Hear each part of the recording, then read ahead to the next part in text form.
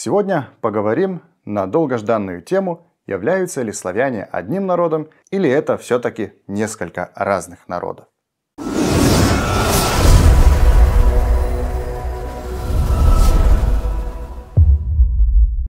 Всем привет! Это канал Славянское дело, или по-русски «Деяния славян». Канал посвящен различным темам, связанным со славянами. Оригинал данного видео вы можете посмотреть вот тут. Оно было записано на хорватском языке в качестве ответа на вопрос одного из наших подписчиков. К вопросу, являются ли славяне одним народом или нет, можно подойти с несколько разных сторон. Я сегодня буду говорить о двух. Об исторической и настоящей. Та, которая сейчас. И прежде чем начнем, я хочу сказать, что данное видео не будет строго научное, Э, этим имею в виду то, что я не буду всегда приводить все исторические примеры, но если вас эта тема очень сильно увлекает, я постараюсь сделать отдельное видео, где будем рассматривать все доказательства. А пока я поговорю более свободно. Начнем мы с исторического взгляда. Сначала нужно себе задать вопрос, что определяет народ. В истории это были какие-то другие элементы, чем сейчас. Очень важное было осознание о том, что кто-то является одним народом, то есть представление о реальном или фиктивном придуманном общем предке. Это один. Второе – это культ, общий культ, общая религия, общее мировоззрение, так скажем. Третье – это общие обычаи, общий закон, общее право. Четвертое – у нас общий язык, если обратим внимание на исторические источники, тогда можем наблюдать за одной очень занимательной вещью. Уже с самых первых исторических источников, которые зафиксировали имя славян, таких как э, деяния готов, готского историка Ярдана или сочинения византийского историка Прокопия, они там говорят о трех разных группах славян. О славянах, антах и Венедах. Уже Иордан говорит о том, что эти три разные группы все являются одним народом, и что сейчас они преимущественно называют себя антами и славянами. Похожее говорит Прокопий. Для него анты и славяне – это один народ, который в прошлом назывался Спори. У них один язык, одни обычаи, они похожи друг на друга. Идея о единстве славянского народа правда, немножко в другом понимании, встречается уже в самых ранних источниках, говорящих о славянах. В готских войнах Прокопия Кисарейского и в происхождении готов и Ордана из VI века. Прокопий пишет, «И некогда даже имя у славян и антов было одно и то же. В древности оба эти рода назывались спорами. И еще, у тех и других один и тот же язык, довольно варварский и по внешнему виду они не отличаются друг от друга. Йордан пишет, начиная от места рождения реки Вистулы, Вислы, на безмерных пространствах расположилось многолюдное племя венедов. Хотя их наименования теперь меняются соответственно различным родам и местностям, все же преимущественно они называются склавенами и антами. То есть для Прокопия и склавены, и анты – потомки одного народа споров. Романтические представления в этом узнавали сербов. Для Иордана славяне и анты – часть одного народа – венедов, живущих именно на тех территориях, которые исторически занимали славяне, что подтверждает и археология, и исторические источники, и о чем говорит сравнительное славянское языкознание. Псевдомаврикий в стратегиконе в конце VI века пишет «Племена славян и антов сходны по своему образу жизни, по своим нравам, по своей любви к свободе. У него также зафиксированы первые сведения о том, что славян нужно разъединять и не допускать их объединения. А это шестой век. Если среди них много предводителей и нет между ними согласия, не глупо некоторых из них привлечь на свою сторону речами или подарками, особенно тех, которые находятся поблизости от наших границ, и нападать на других, чтобы не все прониклись к нам враждой или не стали бы под власть одного вождя. Примечательно и то, что о славянах пишет арабский историк Аль-Масуды в X веке. Славяне – суть из потомков Мадая, сына Яфета, сына Нуха. К нему относятся все племена славян, и к нему примыкают в своих родословиях. И дальше. Если бы славяне не были настолько разъединены, и если бы их племена не враждовало друг с другом, то ни один народ мира не смог бы им опереться. Потом, если уйдем несколько веков вперед, в 11-12 век, к славянским источникам, и тут можем наблюдать за тем, что авторы исторических источников считали, что славяне – это один народ, несмотря на то, что он находится в разных государствах. Такой источник, например, повесть временных лет. А еще более древний источник, хотя он не сохранился в оригинальном своем виде, жития святых Кирилла и Мефодия, тоже говорят об одном славянском народе, об одном славянском языке. Один из древнейших источников тут русская повесть временных лет. Автор пишет. От тех славян разошлись славяне по земле и прозвались именами своими от мест, на которых сели. Так одни, придя, сели на реке именем Марава и прозвались Марава, а другие назвались Чехи. А вот еще те же славяне, белые хорваты и сербы, и харутане. Когда волохи напали на славян дунайских и поселились среди них, и притесняли их, то славяне эти пришли и сели на Висле и прозвались ляхами, а тех ляхов пошли поляки. Другие ляхи – лютичи, иные – мазовшане, иные – поморяне. Также и эти славяне пришли и сели по Днепру и назвались полянами, а другие – древлянами, потому что сели в лесах, а другие сели между Припятью и Двиною и назвались Дреговичами. Иные сели по Двине и назвались Палачанами, по речке, впадающей в Двину, именуемой Полота. От нее и назвались Палачане. Те же славяне, которые сели около озера Ильменя, назвали своим именем славянами и построили город и назвали его Новгородом. А другие сели по Десне и по Сейму и по Суле и назвались северянами. И так разошелся славянский народ, а по его имени и грамота назвалась славянской. Примечательно то, что автор пишет о том, что так разошелся славянский язык, то есть славянский народ, а не славянские народы. Это первое зафиксированное свидетельство о том, что восточные славяне действительно считали всех славян одним народом. Примечательно то, что такая идея о единстве славянского народа, о единстве всех славян встречается у источников у разных славян. Если посмотрим на польские источники, вот некоторые из них. Великопольской хронике из XIII века мы можем прочитать. Славянские языки происходят от речи одного отца – Слава, от кого славяне и получили свое имя. И тут видим мнение об одном происхождении славян. В анонимовом описании Европы Восточной из 1308 года можно прочитать «Надо знать, что русы, рашане, то есть сербы, славяне, то есть словаки и словенцы, чехи, поляки, прусы, то есть поморяне, говорят на одном и том же языке, славянском, из чего происходит, что славянский язык больше и более распространен, чем все остальные языки мира. Это уже 13 век, а авторы все еще считают славянский язык одним. В XVI веке польский историк Марчин Бельский в «Хронике всего мира» пишет «Польский народ произошел из славянского народа, из земли, называемой Савроматия, которая лежит в Европе. Другой поляк, Мачей Стрейковский, пишет в примерно то же время. От Мешеха, шестого сына Яфета и его потомков, русов, лехов, чехов, происходят все русы, поляки, московиты, болгари и все, кто в этом мире говорят на славянском языке.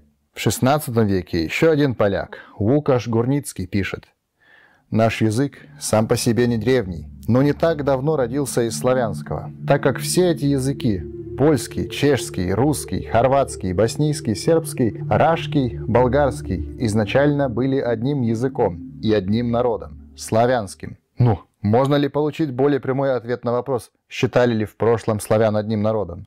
Вот у нас южнославянские источники.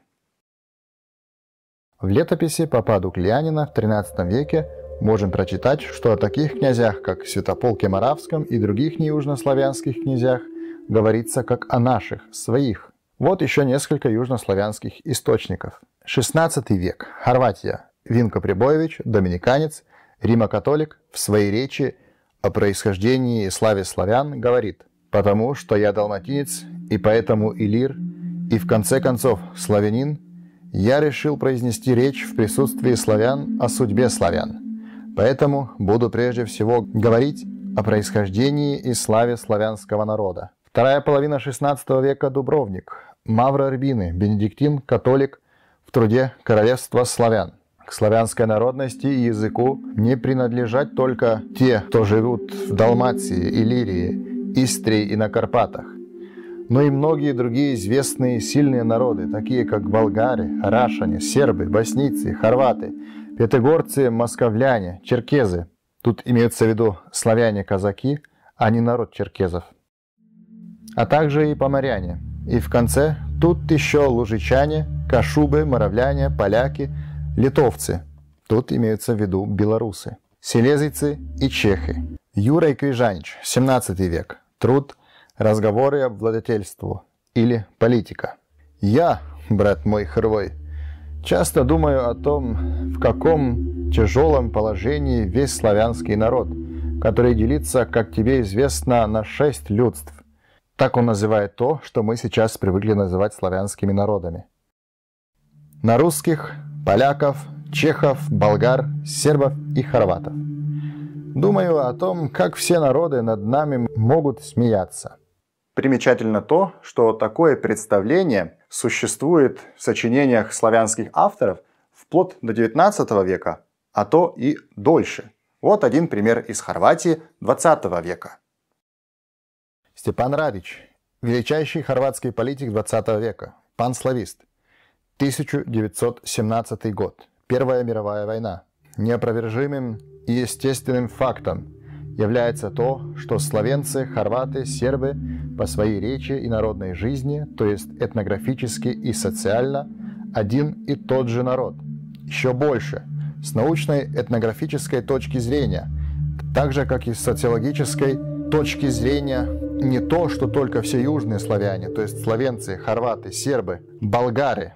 Под сербами и болгарами имеются в виду и нынешние македонцы, черногорцы и боснийцы – являются одним народом, а одним народом являются и все славяне. Но различное историческое развитие, географическое расстояние и разделенность, культурные и рекультурные влияния способствовали тому, что у нас теперь 9 славянских народов – русские и украинцы, поляки, чехи, словаки, болгари – сербы, хорваты, словенцы. А если этому добавить еще белорусов, вот у нас 10 славянских народов, а с лужичанами и кашубами как раз 12.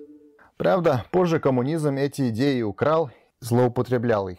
Настоящий коммунизм по своей сути интернационализм, и ему все равно за этнический народ. Для коммунизма главны классы и классовая борьба, и это все – но так как это было что-то, чем можно было в те времена заманить людей и расширить свои влияния на большой кусок Европы, политика этим воспользовалась. Подобное происходит и сегодня. Мы можем видеть, как некоторые партии воспользуются религиозными чувствами людей, а в конечном итоге действуют крайне не по-христиански и поддерживают некоторые другие ценности. Но им нужны голоса наивных и ничего не подозревающих людей. И все. И о чем нам это говорит? Это говорит, что на протяжении тысячелетия существовали среди славян люди, которые явно считали всех славян одним народом. Говорили они зачастую об одном славянском языке, хотя они понимали, что существует разный тип славянской речи, то есть разные диалекты. Допустим, часто считали так, что славянский язык один, а такие языки, как польский, русский, украинский, болгарский, хорватский и так далее, являются просто диалектами этого языка. Второй пункт. Общий культ. Когда говорим о языческих славянах, можем наблюдать за одной очень занимательной вещью. А это то, что у всех славян есть какие-то общие элементы. Получается у нас реконструировать и даже в исторических источниках посмотреть, не только в исторических, даже в разных названиях местности, в топонимии, мы можем наблюдать за следами древней славянской религии. И, безусловно, на территории всех славян, южных, западных, восточных, появляются следы нескольких славянских богов. Перун, Велес, Мокош, и затем у нас еще дети богов, это те, которые в истории зафиксированы как Ярила и Марана, Мара. Но это, скорее всего, не настоящие имена этих богов. Третье, о чем я говорил, это общие судебные обычаи.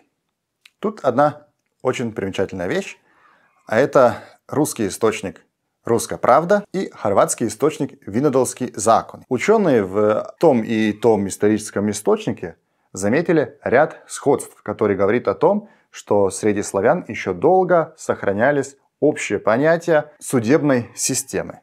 Я говорил еще о сознании, об общем предке.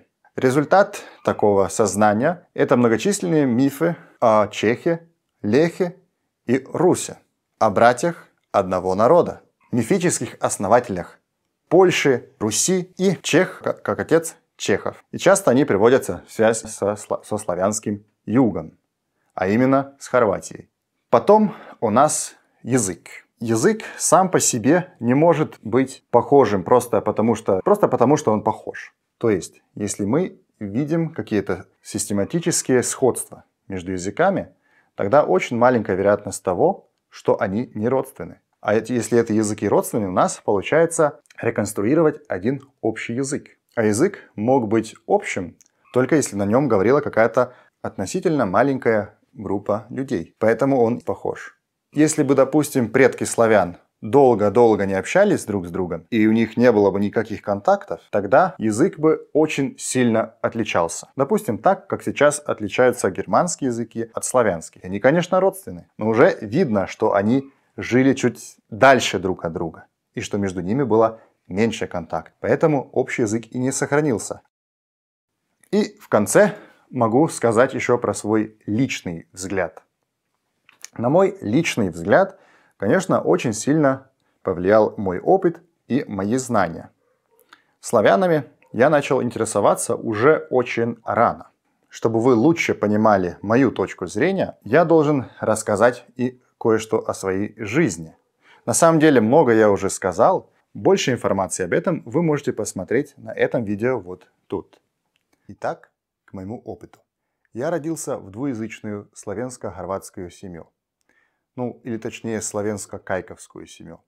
Для тех, кто не знает, кайковский считается сейчас диалектом хорватского языка, несмотря на то, что он как язык отличается от литературного хорватского, а также от сербского, примерно в такой же степени, как украинский от русского. Большинство своей жизни я прожил в Словении и в Хорватии, причем это было так, что чередовалось постоянно. Я некоторое время жил в Словении, там получал начальное или основное образование, как у нас называется это. В Хорватии среднее, потом опять бакалавриат был в Словении и магистратура в Хорватии. Вопросами славянства я занимаюсь уже чуть больше 15 лет. Но корень моего славянства, наверное, стоит искать уже в моем детстве. Мои родители воспитывали нас так, чтобы мы любили Бога и чтобы любили ближнего. Это, конечно же, относится и к своему народу. Я родился во времена, когда была эта несчастная война между сербами и хорватами, но, несмотря на это, мои родители меня воспитывали так, чтобы я никого не ненавидел. И на этом им большое спасибо. Что еще могу рассказать про своих предков? Уже с детства меня очень сильно интересовало мое происхождение. Я просто обожал разговоры с бабушками и с дедушкой и всегда спрашивал их, какое было у них детство, что они про помнят про своих предков, как они жили. И они мне об этом, конечно, с удовольствием рассказывали. При исследовании своего семейного дерева я встретился со многими удивительными вещами. Среди своих родственников и предков – нашел и чехов, и русских, и сербов. И после того, как сдал свой материал на генетический анализ, на генетическую экспертизу, узнал тоже, что у меня есть родственники в Польше, Украине и Словакии. Подобное сделала моя супруга, И все это меня еще больше убедило в том, что мы, славяне, один народ. Можно сказать, что мой интерес или моя, моя любовь к славянству началась из любви к хорватству. Мой интерес исследованию славянских вопросов повысился, когда я был в средней школе. Тогда я начал смотреть всякие фильмы польские, русские и других славян и начал очень сильно увлекаться всем, что было связано со славянами. Конечно, изначально это было чисто любительски, я не понимал, что такое лженаука и что не лженаука, какая наука настоящая, и поэтому наделал много ошибок. Но, слава богу, в мои руки вовремя пришла научная литература. И это меня спасло от многих ошибок псевдонауки. Итак, среднюю школу я закончил с тем, что у нас называется матуральный рад, то есть это какая-то работа для окончания средней школы, и у меня она была на тему истории славян от прабалтославянских времен до святых Кирилла и Мефодия. После этого я поступил на бакалавриат в Словению на направление сравнительное славянское языкознание и теология. Там я узнал очень много удивительных вещей о славянском мире. Я встретился более-менее со всеми славянскими языками и с представителями разных славян, Через теологический факультет я поехал на студенческий обмен в Люблин в Польшу и целых полгода жил в Польше. После того, как я вернулся и продолжил учебу в Словении, я жил в общежитии, в котором жили почти одни поляки. И мы продолжали с ними общаться. Так что у меня как-то беспрерывно было такое, так сказать, польское общение полтора года. В это время я познакомился с поляками. Свой бакалавриат я закончил с бакалавриатским трудом, работой на тему Юрий Крижанич в историографии. Для тех, кто не знает, Юрий Крижанич часто считается первым панславистом. Во время своей учебы я очень часто путешествовал в Словакию. Практически всю Словакию я проездил вместе со своим другом, который является наполовину словаком, наполовину словенцем. И мы знакомились со многими словаками. В магистратуру я поступил в Хорватии на историю. Там я занимался преимущественно разными славянскими темами, связанными со славянской идентичностью. То есть меня интересовали такие вопросы, как откуда взяла славянская, общеславянская идентичность, как она распространялась по всему славянскому миру и почему среди славян всегда жили такие идеи, которые говорят о единстве славян или в пользу единства славян. Для магистратуры я написал работу «Славянская идентичность в Средневековье», для тех, кто понимает хорватский или сербский язык, я в описании оставлю ссылку на свою работу. В то время, как я учился в Загребе, у меня получилось поехать еще на один студенческий обмен, на этот раз в Санкт-Петербург, где я прожил полгода, и это помогло мне поближе познакомиться с русскими. С русскими я очень сильно познакомился и через свою супругу. Кстати, у нее есть свой YouTube-канал – может быть, для русских он будет не настолько интересен, но она преподает русский язык для других славян. И в то время, как я учился, я пропутешествовал практически все славянские страны, кроме Беларуси и Украины. Но я все еще очень хочу туда поехать. Как только все это с ковидом закончится, ну, посмотрим, как пойдет. Весь этот мой опыт исполнил меня новыми знаниями. Я смог лично познакомиться с разными славянами – а также с представителями других народностей. И то, что меня очень сильно впечатлило, это факт, что я заметил, что у всех славян достаточно похожий менталитет. Несмотря на то, что мы очень сильно любим говорить, ставить акцент на то, какие мы разные, особенно когда разные славянские группы между собой воюют, как это сейчас ситуация между Украиной и Россией, что некоторые люди постоянно пытаются доказать, что мы не имеем никакого вообще отношения друг к другу, что мы вообще разные народы, и кто-то хотел бы даже сказать, что мы вообще разная раса, что мы люди, а это не люди. Конечно, все это бред. И благодаря моему опыту я могу сказать, что да, на мой взгляд, славяне это действительно один народ, несмотря на то, что мы сейчас находимся в разных странах, и я себя, конечно, считаю по национальности, по народности славянином. А вы что об этом думаете? Мне очень интересно об этом узнать. Напишите в комментариях, согласны ли вы с моей точкой зрения, или вы все-таки не согласны с этим. Только, пожалуйста, аргументируйте это хорошо. Не так, чтобы это были такие разговоры. А, москали у графины или ах, это украинцы, это, не знаю, там тюрки или кто-то так.